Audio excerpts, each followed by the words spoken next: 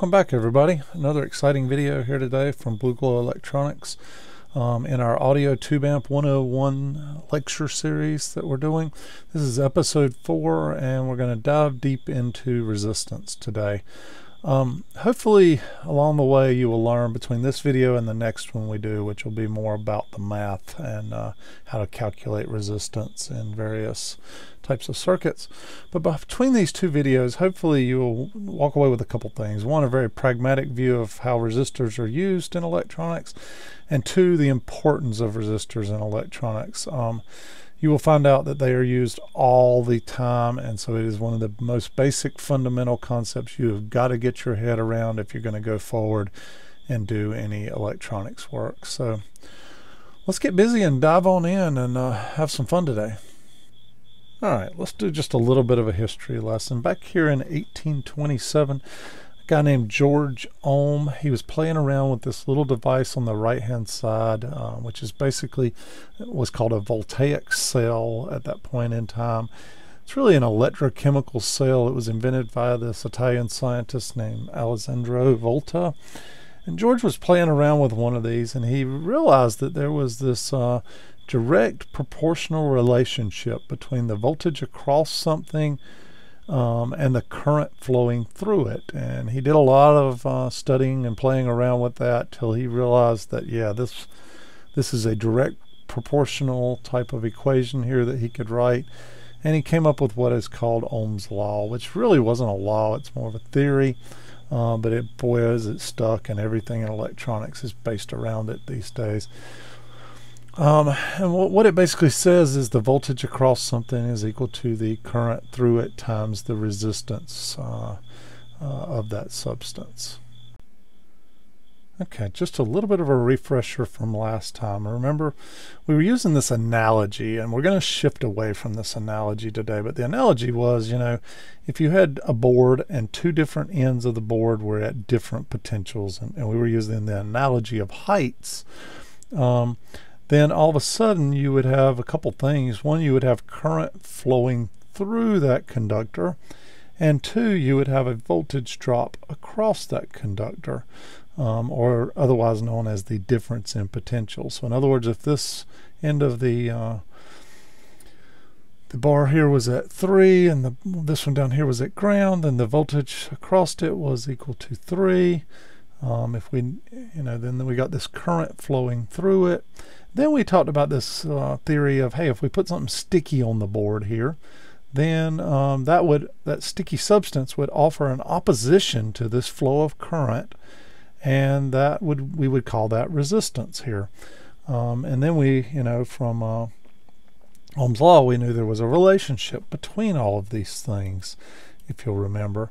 Um, if you'll also remember, we said this uh, resistance to the flow of um, these balls and let's shift away from using the balls and the boards. Um, these balls are actually electrons and electrons are moving through a conductive material. We'll call it that at this point in time. Um, and the opposition to these electrons moving through a conductive material we're going to call resistance we measure this resistance in a figure called ohms, which was named after George Ohm. And here we have the Greek symbol omega, which is a shorter way of writing ohms. Um, if you'll remember from that, we go right back into George's uh, law. We talked a little bit about, hey, you know, there was this proportional relationship between all of these. And what Ohm's law said was, hey, if you have one volt of electricity, and you have one amp of current flowing through this conductor, then there must be one ohm of resistance here. And you can, as you can remember, we did some algebra in, in the first class. Um, you could change this equation around by uh, moving things to the other side of the equation. So we also learned that, hey, um, current is equal to voltage divided by resistance, and resistance was equal to voltage divided by current here. Um, if you can play, if you can learn this math, um, you're home free and 90% of electronics are better. Okay, this is where we're going to start making the shift away from this uh, analogy of height that we've been using to describe things.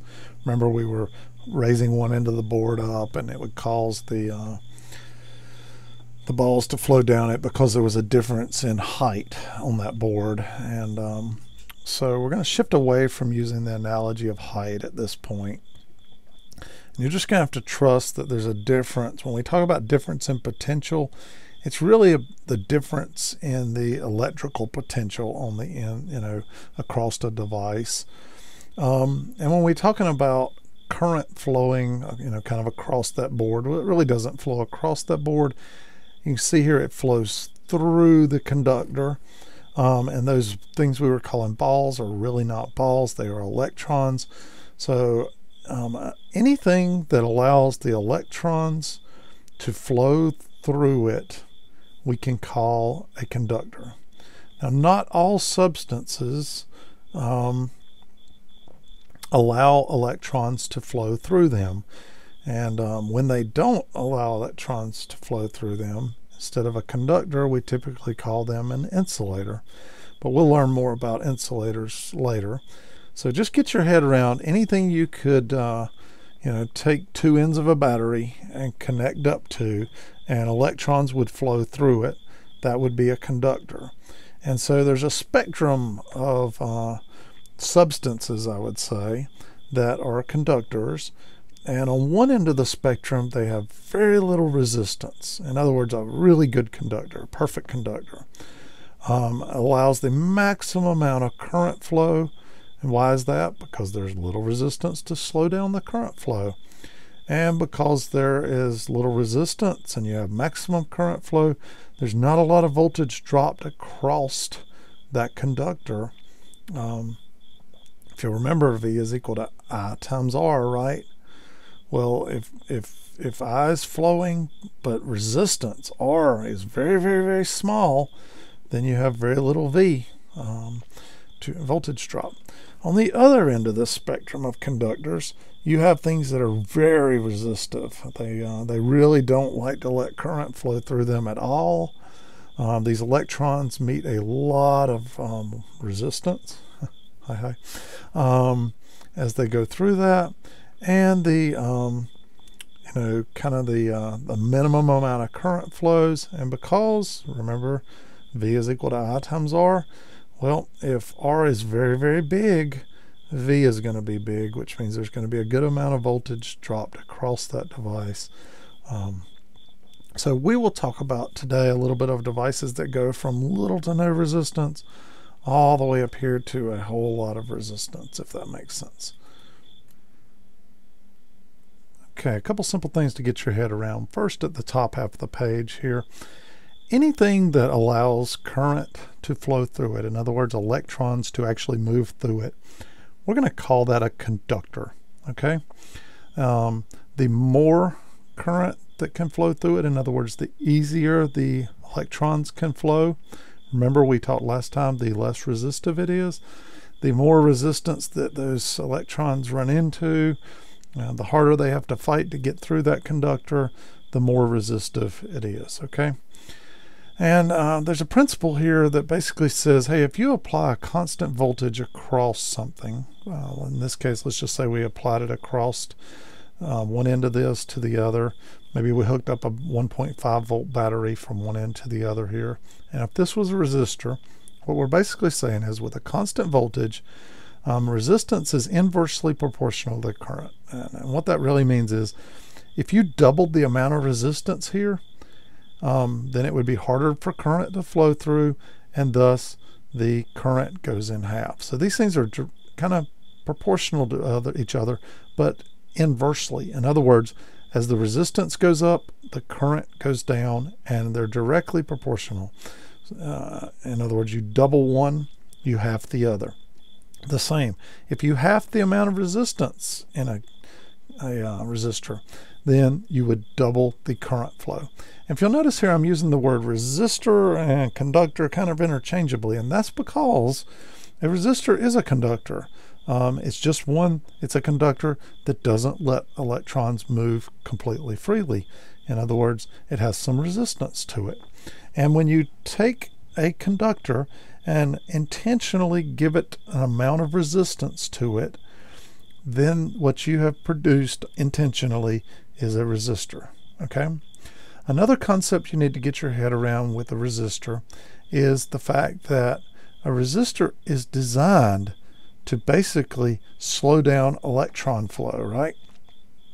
Well, when you slow down electron flow, you're doing that because these these electrons are kind of they they meet friction or resistance going through this conductor. Well, that friction or resistance is energy that gets dissipated, and and the way it gets dissipated is as heat.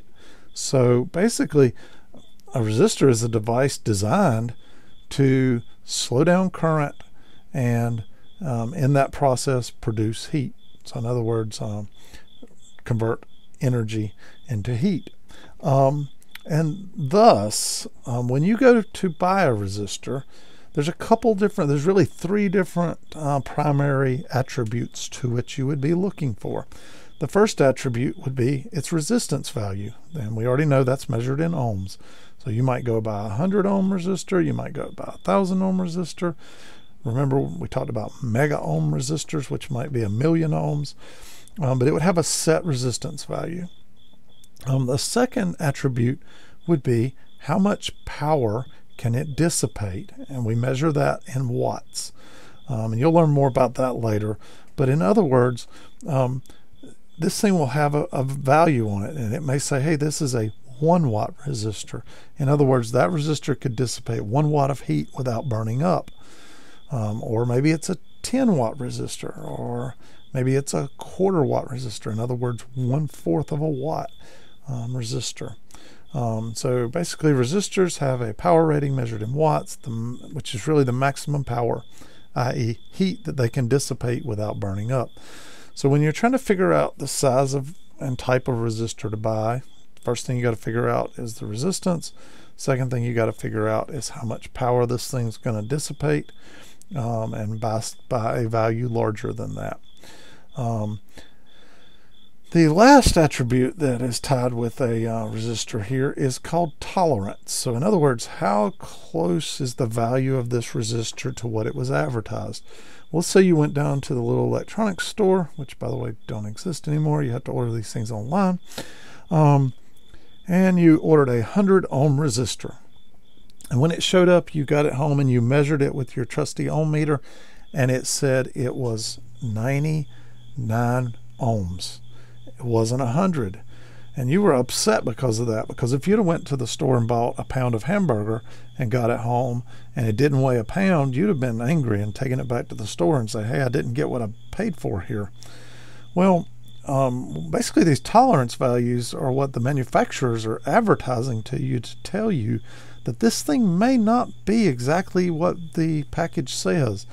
So, in other words, if you bought a resistor and it was advertised with a 10% tolerance and you were buying a 100 ohm resistor, that would mean that it could vary in up to 10% either side of 100. So in other words, it could be a 90 ohm resistor, it could be a 110 ohm resistor, and you'd have to be okay with it because you bought a resistor with a tolerance of 10%.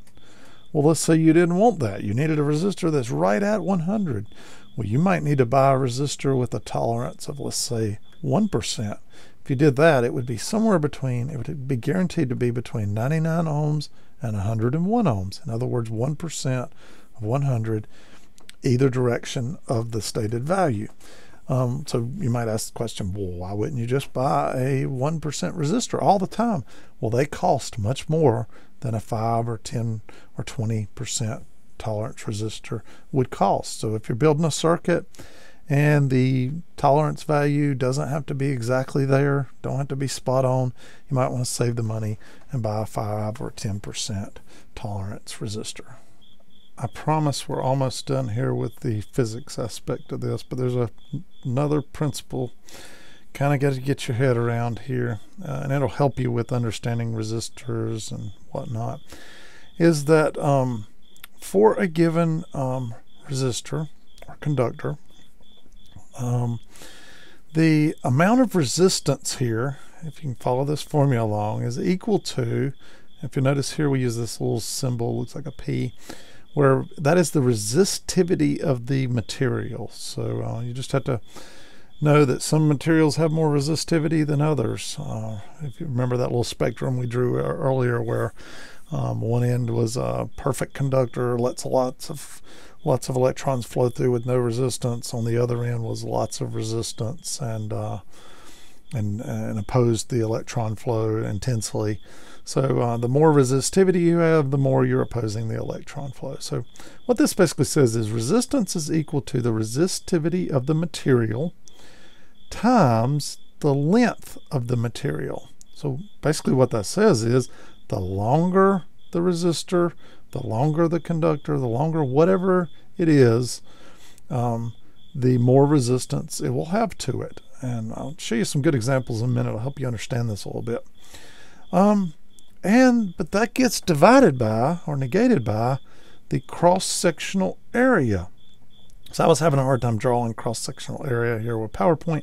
So I found this picture on the web, but uh, basically what it shows here is the more um, the more surface area here that the conductor has, in other words, the bigger round or bigger square that it is, um, the less the least the less resistance it has, if that makes sense. So length of something increases the amount of resistance, which makes sense. If you were driving a car through mud, the uh, the longer you had to drive through it, the more resistance you would oppose. Um, but hey, if this uh, if this road was wider, uh, might be easier to drive through. Um, probably not a great analogy, but uh, we'll, we'll, roll with it. We could use a water analogy. The bigger a river was, the more water could easily flow through it. Um, might be another way of saying that. Um, in other words, as the length of a conductor increases, so does the resistance. As the cross-section area gets bigger, the resistance goes down. Um, as the resistivity of a material in a conductor goes up, so does the resistance. And I thought I'd show you this little symbol down here. That is the schematic symbol. So when we start working with schematics a lot, that is what a resistor looks like on a schematic symbol, as a schematic symbol. Okay, so remember earlier I said, you know, a conductor is what lets electron, you know, a substance that lets electrons flow through it. And the more opposition it has, the more resistive it is. Well, um, one thing that can have resistance to it, and it does, is just a common wire. Um, if you if you just uh, go buy a spool of wire at Lowe's or uh, one of the home improvement stores, you would find out that that wire actually has resistance to it because it's not a perfect conductor. Um, so this is uh, just a table that shows some common copper wire, right? That comes in different sizes and uh, you know, if you, I don't know if you remember or have ever learned that uh, copper wire is sold in gauges and it kind of ranges like from maybe 24 gauge here to 10 gauge. It could go all the way down to four or two gauge wire. But the larger the the smaller the gauge, the larger the wire. In other words, 24 gauge wire is smaller than uh, than a 10 gauge wire, and you can see that here in this uh, chart. You know, a 24 gauge wire is 0.02 inches in diameter, whereas a 10 gauge wire is 0.1 inch in diameter. Um, but if you notice here, um, the resistance in a thousand feet of wire. So let's just say you had a thousand, you went down to your home improvement store, bought a spool of a thousand feet of wire, stretched it out across your backyard, and connected a uh, ohm meter across that. In, in other words, a device designed to measure resistance. Connected to one end, connected to the other end. If it was 24 gauge wire, in other words, small wire, um, you would have 25.67 ohms of resistance from one end of that wire to the other. However, if you had a bigger wire here and you bought a thousand feet of it and you connected um, wire on one end and wire on the other, you would have less than one ohm of resistance. So going back to the previous example, um, this surface area here remember, negates the amount of resistance. In other words, the larger this thing is around, the less resistance it's going to have. Um, so you can see how this plays out real well, real in real world. So let's just say you were buying speaker wire for your speakers. Well, this is why bigger wire, in other words, lower gauge wire, would get more of your signal out of your amplifier to your speakers than a smaller wire would because the smaller wire, some of your signal would get eaten up in the wire, um, basically um, as a voltage drop and dissipated as heat out of the wire um, because uh, it was smaller wire with more resistance. Um, so note the smaller the wire, the more resistance it has. The longer the wire, the more resistance it has. So, um, you know, distance here is what is causing the increase in uh, resistance. If if you had 2,000 feet here of wire, well then what you have to say is 25.67 times 2. You'd have you would have 50, a little over 51 ohms of resistance in 2,000 feet. If you had 3,000 feet, you would have 75 ohms of resistance or so. Whereas down here, if you had 3,000 feet of this wire, you would only have 3 ohms of resistance. So that's why power wires feeding your house um, are bigger than, let's say, little bitty wires inside of uh, maybe your iPhone charging cable or something, because uh, they don't have to carry as much power and for and for near the distance that you might the power lines out on the road feeding power to your house. And here's a real world example of that that uh, I actually learned when I was in electrical engineering school back in the day. Um, so our teacher told us this story about how um, he knew somebody that worked for a company that repaired basically uh, yard equipment, lawnmowers, um, chainsaws, weed eaters, things of that nature. And they kept having somebody bring in their weed eater, and it was uh, burn up and not working. And they, you know, being a good the good company they were, they gave them another one because they bought it there. They replaced it, and a week later they brought another one in, and it was burn up. And so they they said, well, maybe they got two bad ones, so they gave them another one. And a week later they brought the third burnt one up uh, back into the store. And uh, finally, they started asking some questions. And, and if you if you ever read the specs on a weed eater, um, it'll basically say it's got a motor in here and it's it, it's rated in terms of power, so it's like a half horsepower uh, engine. And it'll, if you read the box, it'll tell you that you can run a drop cord to this uh, thing to trim your lawn with up to 100 feet. And what this what they found out was this guy was putting three uh, drop cords together. In other words, 300 feet, um, feeding his weed eater when he was trying to trim his ditch going down the side of his yard. Um, and so go back to the previous page. The longer the wire, the more resistance. Thus, the, the more resistance you have, the more voltage drop you have. And a motor like this attempts to produce a given amount of power. In other words, uh, you know, a quarter horsepower or a half horsepower of um, given power. We'll talk more maybe what a horsepower is later. It's not something you really use as it relates to uh, to audio amplifiers, but uh, just know it's another measure of uh, power, another way to represent it. Um, so if if, if you remember back to episode one, power is equal to voltage times current. So if the voltage goes down because you've got a voltage drop across these three long drop cords and you're going to maintain P as a constant, the power is going to stay the same. Then what must happen if V goes down for P to stay the same? I must go up, right? As I goes up, the current in it, um, basically, ultimately what happens was it was burning up the wires inside of this motor because they couldn't handle that amount of current. Um, the other thing that could have happened is, you know, it could have tripped a breaker, but in this case it wasn't. It was uh, burning up the motor windings. So just a practical example of how a bunch of wires you're using to uh, feed something. Maybe that's Christmas tree lights out in your yard, or or maybe that's a weed eater, or maybe it's uh, you know a, a pump or something you've got outside. If you hook a couple drop cords together, you're creating a good amount of resistance. So be aware the voltage that's getting to that device at the end of the day is a lot less than you're anticipating it being. Let's talk about some resistivity of some common materials used in electronics. So first off, silver. Um, its resistivity is very low. Um, makes it a great conductor. It's probably the best conductor you could use in electronics these days that is um, available from a cost uh, standpoint. I mean, it's not cheap to use silver wire, but um, it's probably the best material available out there that is uh, not astronomical in price. In other words, um, below that, you know, not far off in its resistivity value. Uh, just a little has just a little more resistivity is copper and that's why you see copper used so much it doesn't cost nearly what silver does but uh, it still has a really good uh, low resistivity um, believe it or not gold has more resistance to it than copper so you may wonder why do you see so much gold used in uh, electronics you see gold plated connectors and whatnot well, it has nothing to do with its resistivity.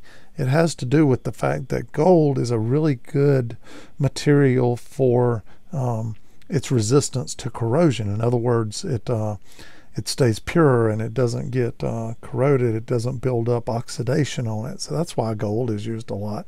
It has nothing to do with um, its resistivity.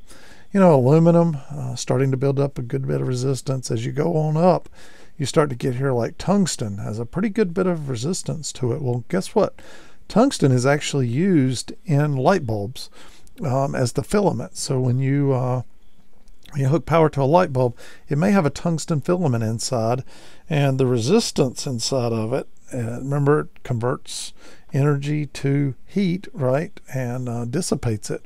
Well, tungsten's one of those materials that's really special in that it dissipates its heat in the form of light, um, so which which works out really well to produce light bulbs. So as you go on down the line, you know platinum's not a great conductor, neither is mercury or or uh, chrome. In other words, um, you know you kind of get into this other space. We'll talk later about semiconductors, but uh, um, as you can see, they're not great uh, conductors either. Um, and then you get all the way on the other end of the spectrum down here. If you notice, this is kind of a excellent conductor on one end, all the way to where, hey, it doesn't conduct at all. Um, and then it gets called an insulator because it doesn't conduct. Um, it, it insulates things from conducting. So glass, rubber, other things become insulators. So uh, hopefully this makes sense to you let's talk about some uh, practical resistors here that I use all the time. So this little kit, I ordered these off of Amazon. If you'll notice, half watt, so that's the power they can handle. There's 86 different values in here, 860 pieces, so 10 of each value. If you'll notice, they are 1% metal film resistors. So whatever value they say, they'll be within 1%. And in this box, it goes all the way up to 10 mega ohms. And the thing I like about these, um, you know, they're kind of, kind of, um, put in order here. So if I need a 33 ohm resistor, I pull out the little pack right here, and there's my 33 ohm resistor. If I need a 1K resistor, you know, about pull out my little pack and I use one, get a 1K resistor. Um, really easy to keep them organized, and you can see here with the 1Ks, I've used them all up, so I bought some more and put them in these packs. But uh, makes it really easy when you're hunting for something to uh, to chase it down when it's in a box like this. Um, here, got a whole bag of uh, I just pulled these out of a bin I keep, but these are 4.7 ohm quarter watt carbon resistors, so those might be great in an audio signal path for sound. Um, you know, we showed some uh, power resistors earlier that wire around. There's an example of one. There's an example of one. Here's an example of one. Um, right here, 150 ohm 5 watt. Those are the little resistors I was using in that uh, 232 amplifier as the uh, bias resistors. Um, if you'll notice here, um, got a uh, 25 watt, 25k or 25,000 ohm resistor, 1% little power resistor here.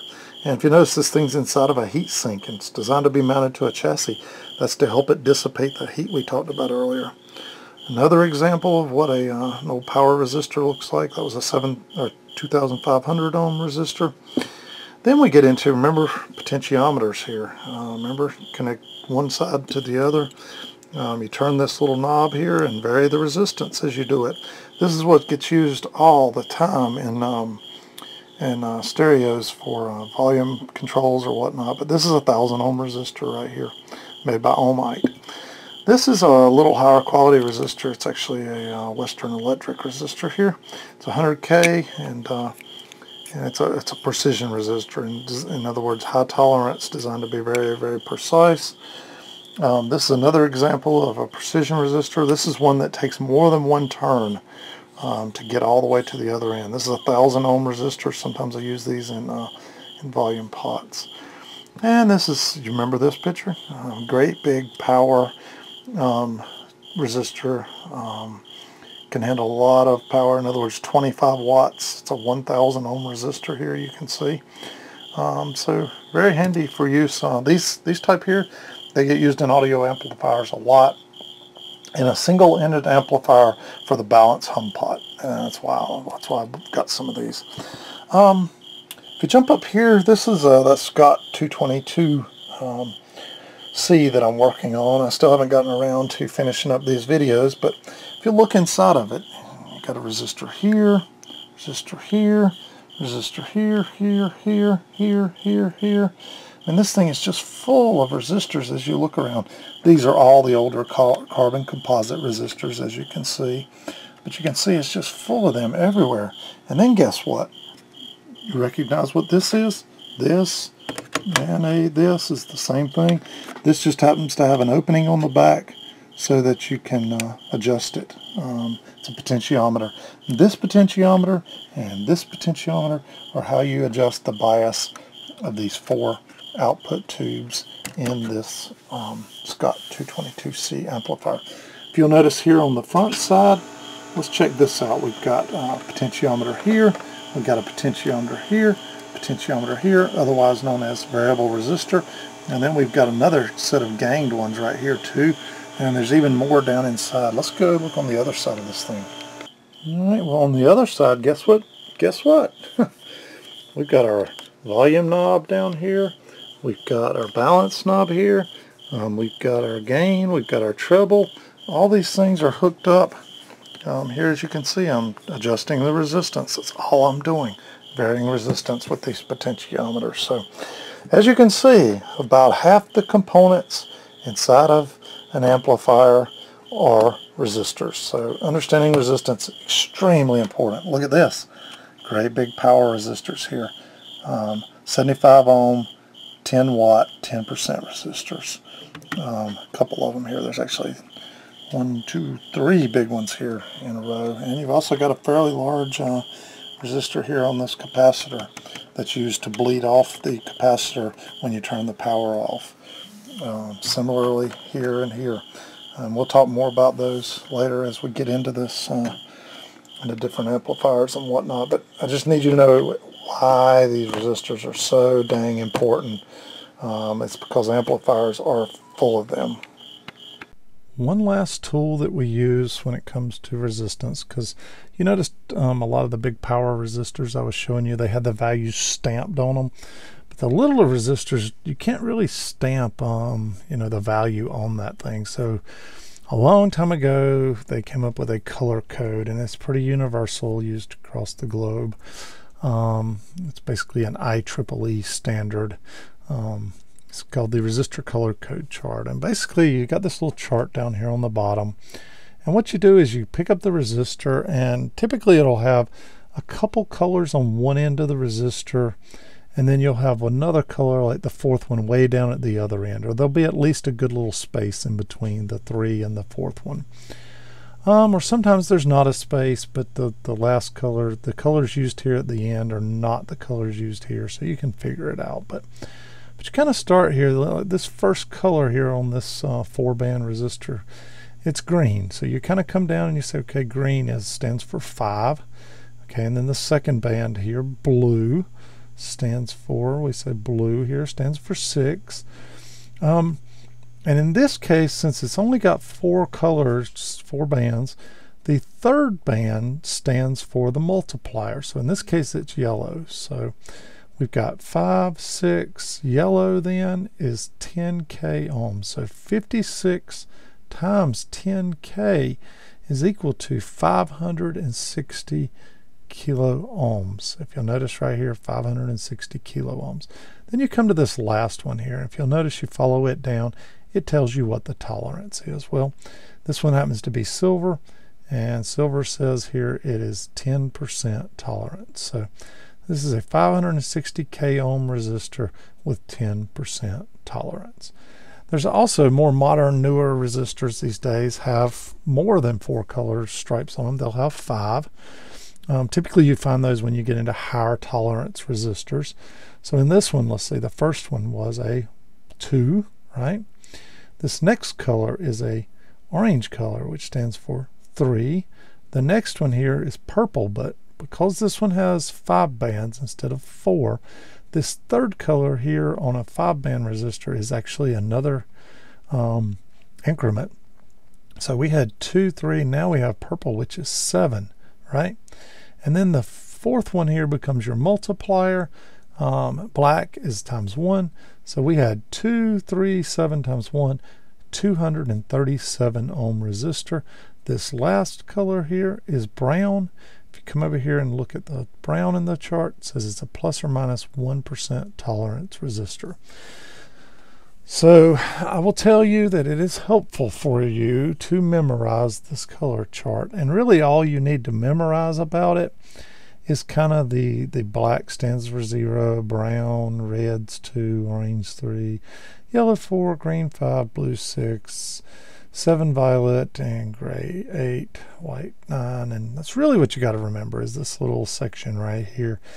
Because um, then you can look at something really quickly, and if it's got yellow, and it's got violet, you'll know, hey, that's a 47. You can look at the third band then usually and know the multiplier and say, oh, that's a 3700 ohm resistor or 4700 ohm resistor. So um, if not, these things are easy enough to find on the internet. Print you off one, stick it on your uh, workbench, and uh, work with it. Long over the years, you'll just learn this thing, and you won't even have to use this chart much.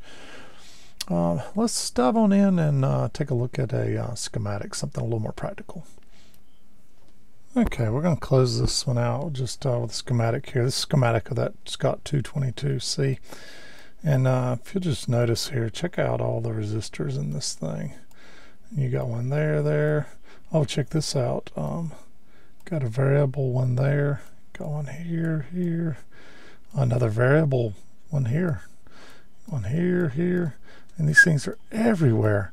So look, there's the balance pot. BAL, and that's a variable resistor. But I could keep drawing for 15 minutes here, circles. So understanding resistance, I just want you to understand why it's so important. Half, if not more than of that, of the values, I mean, uh, components in an amplifier resistor. So understanding them like the back of your hand what they do, why they do it, how they work. It's very important. So stay tuned for the next episode. We're going to get into um, how you do some math and uh, figure out resistance in what I would call a circuit. So uh, maybe this whole section here I would call a circuit, or maybe this section here I would call a circuit. How do you calculate resistance values and what they should be and what they are and what they total and whatnot? We're going to learn all that in the next section. Thanks again for watching, everybody. Uh, stay tuned. I'll keep this series going, trying to do at least one video a week. Maybe I can squeeze in a second every once in a while, but work has me uh, pretty busy lately and doing a lot of traveling, so uh, we'll fit this in when I can. Uh, hope you have a great weekend, and uh, we'll see you again soon.